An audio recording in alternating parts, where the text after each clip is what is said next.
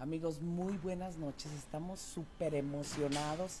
Eh, tenemos ahora al maestro Ángel Ciro Silvestre García de la Universidad de Jalapa, Veracruz.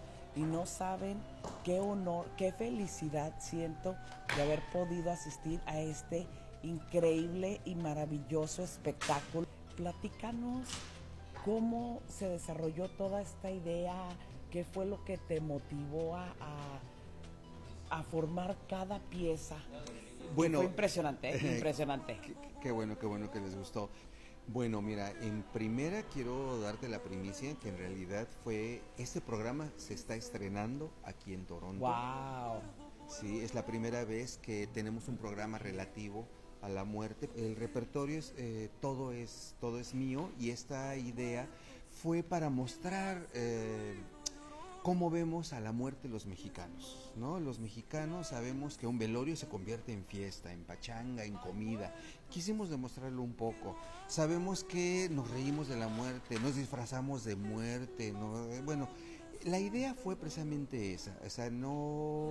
Eh, todo el mundo cree que nada más ponemos una máscara con lentejuelas y la verdad es que no. La verdad es que nuestros indígenas tienen rituales, tienen ceremoniales que tienen que ver con la muerte. Esa fue la idea y así creció este programa. Qué mejor enlazados que con ese personaje que representa para todos los mexicanos la muerte, que es la Catrina. La vida no, eh, mencionábamos hace rato, no respeta edad, no. sexo, religión ni nada. Yo este, te voy a ser muy sincera. Eh, me emocioné tanto en uno donde eh, el muerto se levanta y empieza a ver eh, a sus seres queridos. No sé, fue tan de verdad tan representativo para mí. Es que, te lo agradezco. No, no, no, qué bueno que te gustó porque sí, me encantó. Eso es lo que nos mantiene a los mexicanos de otra sí. manera en la visión de la muerte. Jorge Zárate, que pase. Claro, Véngase, maestro Jorge claro, Zárate. acabamos de decir, de no sí, ser por el maestro Jorge no estaríamos Claro aquí. que sí, muchísimas gracias. Un placer, un sí, placer. Y viste, no, viste muchas gracias. De lo que hablábamos, de lo que comentábamos en la entrevista anterior. Claro. Lo, la, la, calidad del espectáculo del, del maestro es uno de los mejores maestros. The Mexican Folks Ballet se presentó hoy con un espectáculo que se llama Pachuco. Pachu bueno, se llama pues, Chilango. Ah, Chilango. Oiga, no, es que tienen que venir a verlo. De verdad es una cosa divertida, sensacional. Bueno, este, creo que nuestros artistas locales, perdóneme la palabra, son unos chingones. Baby.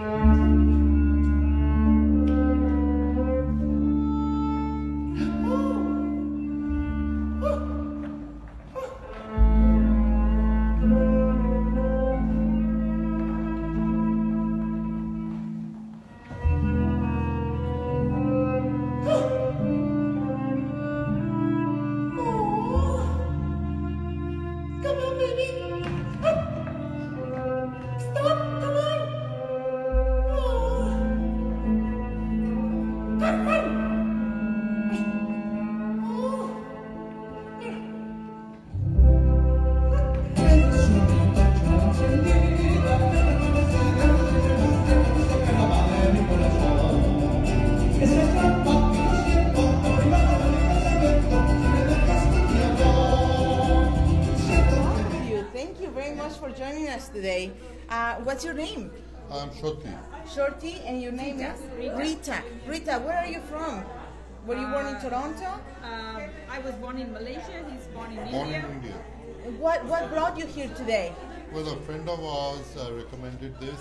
Right. Uh, I'd never been exposed to Mexican culture before. What do you think about it? I, I thought it was very beautiful, very colorful, very joyous, Right. and also very philosophical. In certain uh, uh, sequences, there is death and there is sorrow, but life goes on, life is joyous. I think it was a great lesson. That one scene where death is introduced, that Right. was very well done. It gave me the shivers, you know, the, the sound and The first one, the very first, first one? Yes, the very first one where death was introduced, you know, you know, with the different people coming out from the sides, and the music was very it just evoked uh, something that was, uh, you know, out of this sphere. Gisela eh, es de Ecuador y Nora es mexicana. ¿Qué les pareció el día de hoy el, el show? Bueno, me pareció estupendo y, le, y te agradezco, Norita, que me hayas traído, porque la verdad tengo aquí 30 años y nunca he venido a un show de esta categoría. Bueno, la coreografía me pareció increíble, la- el carisma de las muchachas, eh, la, sí, de, de- prácticamente toda la coreografía, eh, 100% estuvo maravillosa. Los pasos de los chicos, la música, el mensaje espiritual, ah, fue impresionante, me impresionó mucho. Estamos para celebrar la vida, estamos para celebrar a nuestros muertos, los recordamos, pero también los vivimos. ¿Sí? Y la calidad del espectáculo es impresionante, impresionante. Eh, recomiendan este tipo de eventos a otras personas, traer a más personas canadienses, y me refiero a canadienses fuera de los mexicanos. Definitivamente, porque es una manera de poder demostrar, poder compartir lo que es nuestra cultura, nuestro ritmo, nuestra pasión por nuestra cultura. Bueno, el Día de los Muertos por lo regular significa pues sorrow, ¿no? O sea, pena, eh, lágrimas. Pero es verdad, eso es, prácticamente un mensaje que, podríamos cambiarlo. Es increíble cuando la muchacha este, llora por el marido, pero al final es, es, es una, una felicidad que, que hay que festejar porque es el espíritu el que está arriba prácticamente, el cuerpo ya está ido, entonces no hay, no hay para qué llorar. Entonces es un mensaje que, que es, es profundo, es intenso.